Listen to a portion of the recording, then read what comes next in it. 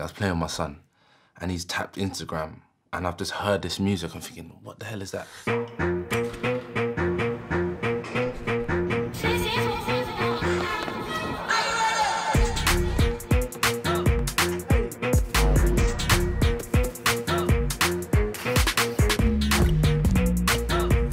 Wait, hold on, like this is looking mad. Like I need to be involved.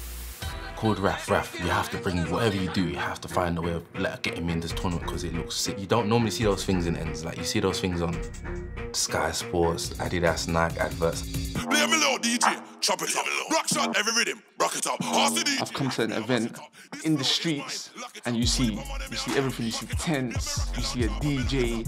There's a lot of fans. I'm actually surprised how many people come down. Like this is, as they would say, in the hood. We got people from different parts of London, different races, different religions, different cultures. You got people coming from Hackney.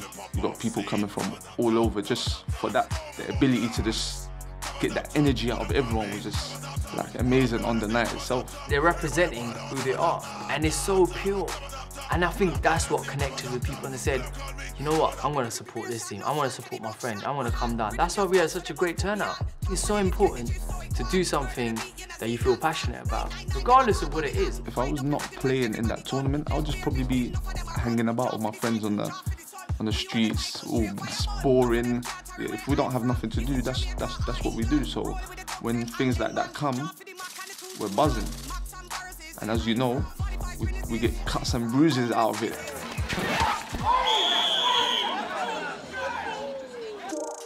Anytime I drift away from football, I get myself into trouble. Growing up in my community and growing up in my area, it's very easy to get dragged into silly stuff. I wouldn't say gang related, but I'd get myself into unnecessary trouble with the police or things that I shouldn't be doing. Without football, I don't know where I'd be. For those 90 minutes you're on the pitch, all the troubles from the world, like whether it be you're having problems at home, have no money, you can't pay the bills, that doesn't matter. That's the only thing that's ever kept me going. That's why passion for football never like run dry in my blood. It's me. Football is me. There's no better feeling. Like I could do it for for my lifetime. Even when I'm a granddad, I'll still be trying to trying to do a couple moves and that's just the feeling is just crazy. Like I cannot even explain it. Yeah, you can just see it like how, how much it means to me. Like it's just it's just the love of the game. The trash talking before, I think it helped because as soon as we got there, it was like, so what are you lot saying now? Are you talking? Are you still talking? you still saying what you're saying online? How many games did you win? Bro, the lights went off. How many games did you win? There's an hour left. There's a West London, innit? How many games did you win? Come down East London. Come down, come down to East London. We kicked your ass. We kicked your ass. Speaking the same language to each other, and he's a player and he's a ref. What is going on? I'm bilingual. I'm Oh, you're bilingual. bilingual. You know what it was? Hidden Talent won two games in a minute, and they were like, oi, Hey, hey, hey, hey, Jay, turn the lights off. Turn the lights off. These lot are getting a little groove on. It's the rivalry, it's the trash talk, it's the bands.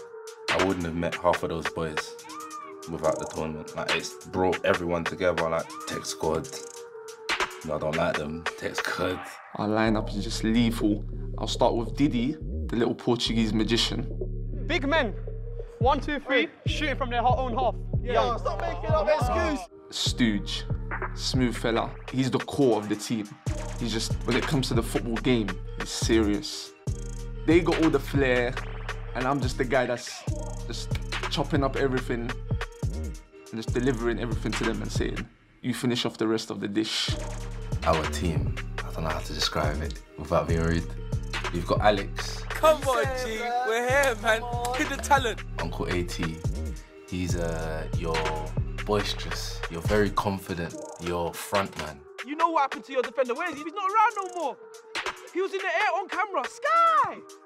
Raf, I think he balances the team well because he kind of tells us when to calm everything down. They're gonna come and do all this uh, dancing and stuff, and um, strictly come dancing and stuff.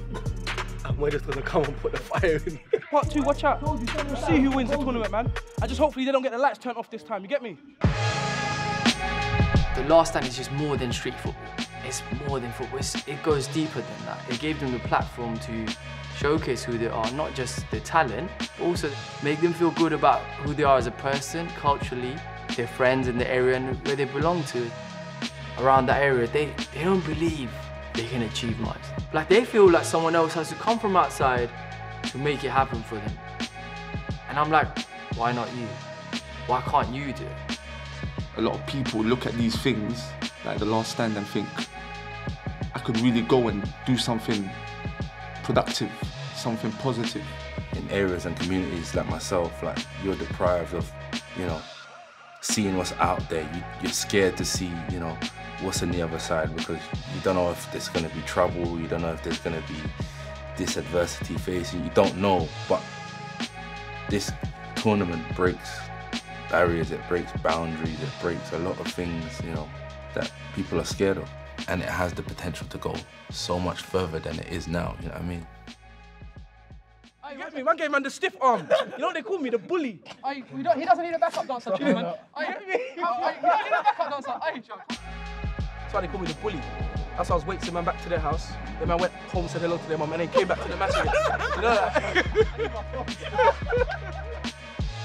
Whose first touch made them kick it off the pitch? When the two touched it, it was him. Fam, don't come It was on. him. Come on. Come that's on. You know who you two are? Reggie and Bowley. Reggie and Bowley. We got three points. for cream. I was a bit slidey there. I was a bit slippery. Are you done? These man added nutmegs. Man didn't even know about nutmegs. I know, because you can't do them. Well done, boys. You needed it. Boost confidence. Come to the tournament.